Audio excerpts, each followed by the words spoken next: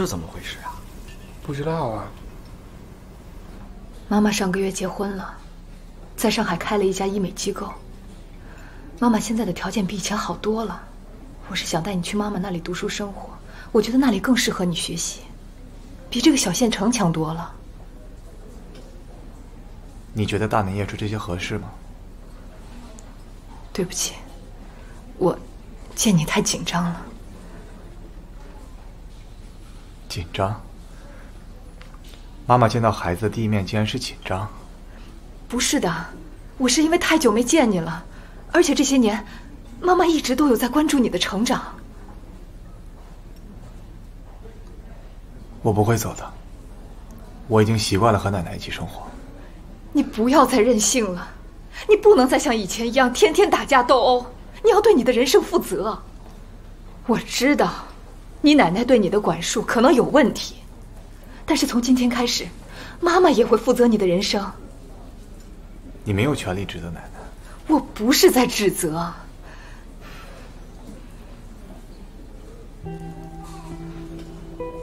你知道吗？小的时候和别人打架，别人家的父母总会第一时间冲出来保护自己的孩子，我的眼里只有羡慕。我看到，只要他们的孩子被人欺负，他们的父母就会第一时间冲出来保护他们，所以我天真的以为，只要我被打得够狠。你就会出现保护我，可我每次被打，出现的都不是我的妈妈，而是一个跟我一样大小、手无缚鸡之力的孩子。他叫林子明，是他一次又一次的出现在我面前，用他那稚嫩的身躯保护了我。后来我清醒了，他告诉我要学会反击。再后来，我就不用他保护。可是我知道，我每次打架吃了亏，他都会去帮我报仇。再后来，我发现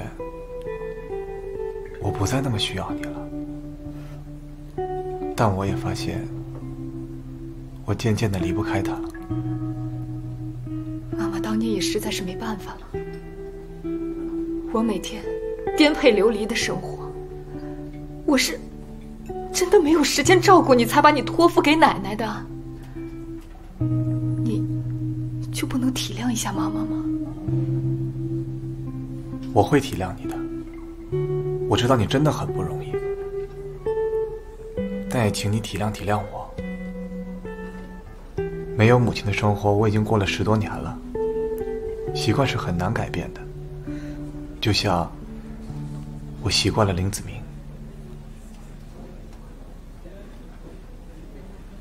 为了你的前途，你就跟妈妈走吧。你这些年缺失的母爱，我会一点一点还给你的。谢谢，妈。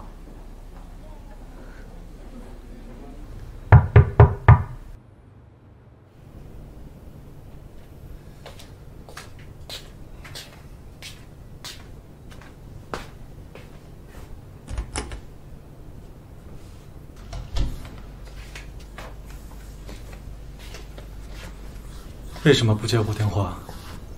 发信息也不回。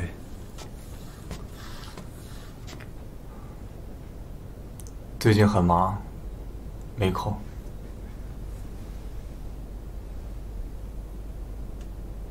这是干嘛？没干嘛。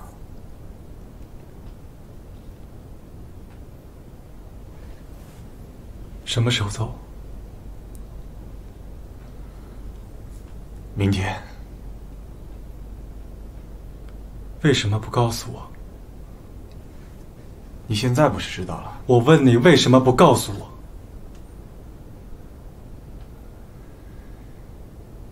因为我害怕接受不了离别。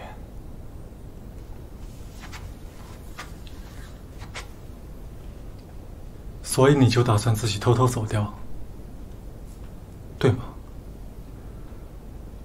我我们还是朋友吗？我们，